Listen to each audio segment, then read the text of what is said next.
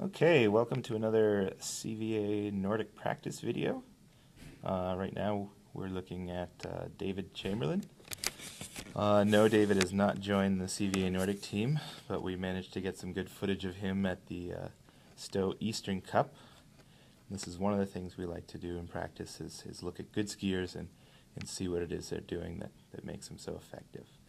Um, so what we noticed about Dave here, uh, this is a sprint, so he's going uh, a little bit uh, choppier than he probably would in a longer race, but you notice he's coming up really high and he's really slamming those poles down into the snow.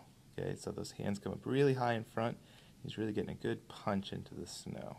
Okay, here's the other thing I really like to notice about this little clip here is look how far forward those hips come. If you go back and look, um, you can see that those hips are going from the back and they're coming really aggressively forward. And so those are a couple of things that we have been working on in our double pole. Um, here we have Ike Dwyron. Um, we're going to watch Ike go by a couple times and get an idea of what his classic skiing is looking like. Um, uh, just one more thing about the uh, the other thing that we uh, really looked at a lot before uh, these practice sessions is uh, there are a couple videos on YouTube of Per Elofsson. Uh, I think they're called like Per Elofsson's uh, brilliant classic skiing. I think you can just uh, search him on YouTube, and and um, Elofsson is is uh, is really a great skier to watch. Uh, he just seems to do everything just exactly right. Also Bente Skari, but she doesn't seem to be uh, on YouTube, so we've been looking at Elofsson. So um, so we're looking at Ike. Uh, Ike is a seventh grader. He's really been ripping it up on the circuit this year. Uh, he's been doing a little bit better in skating in his competitions and classics. So we've been been looking at his classic skiing uh, and trying to trying to sort of uh, navigate some of the difficulties that he's having here. Um, the, the arm tempo seems to be good, and and, uh, and and I'm liking the dynamic of the kick pretty well. The the problem that Ike is running into that we've been working on is uh, uh, he tends to stay right in the middle of uh, his skis, uh, it, which he's a very dynamic skater.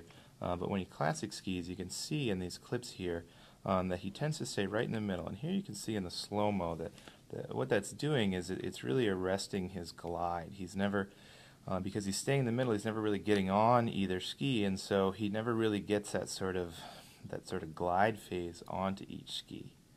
Um, and so what we've been doing as a corrective is just uh, doing some drills where he overextends the glide. He, he lets it glide for like three seconds, and uh, and also lots of no pull work. Uh, those two combined really sort of force a skier um, to to get on their ski and do that long glide. So um, here we have Caitlin. Um, Caitlin is experiencing a, a very similar problem. It's a very common problem where where um, she, she's keeping the weight in the middle and not really committing to uh, one ski or the other. Um, here we can see it very clearly in this, this head-on slow-mo. By staying in the middle, I mean that um, if you look at the center of her gravity, um, it's not going from side to side onto one ski and then onto the other. Um, and, and, because she's in the middle like that, she can never you can never really stay very long on one ski. It's not a balanced position. And so what we can, what we're noticing here is, um, we'll see that back foot is really, it's only really coming off the ground very tentatively um, because she's staying in the middle. Um, that that's sort of needed for, for balance. Okay, it's, it's almost like a like a rudder back there.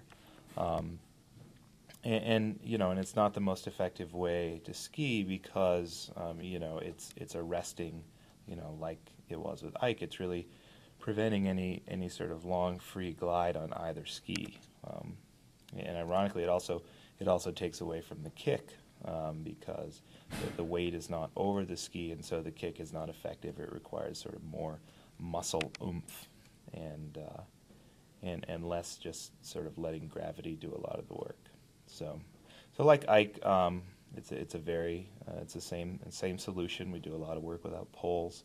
Uh, we do a lot of work um, where we extend the glide and, and, really just learn to commit to that ski and, and be comfortable with that. Um, all right, here we have um, Emma. Uh, Emma. Emma is a senior in high school this year. Um, I'm really liking the look of this double pole here in this section. Um, comes up pretty high in the front. She has a very kind of explosive punch into the snow. Um, and she and generally she's very uh, dynamic in the upper body. Um, with striding, we can see we start to get um, a little bit of difficulty. Uh, this is a good video section here to actually see what, what Emma is struggling with.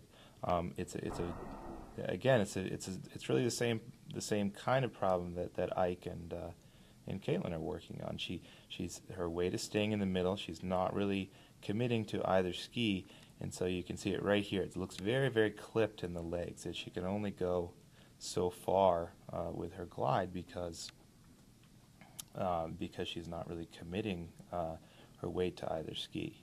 Okay, and so um, with Emma, we're really working on. She's got a strong kick, so we're really working on a long. Um, uh, coming forward with a very sharp knee uh, and really kind of shooting the leg forward like a pendulum. Uh, and we do the same thing with the arm. She does it well with the arm, so we're trying to kind of piggyback on that and get the leg to come forward uh, very strong and dynamic as well. So that was our practice, uh, our classic practice. This is actually a couple of practices put together. Uh, some of the problems that we're encountering in our classic skiing and, and some of the solutions that we're applying.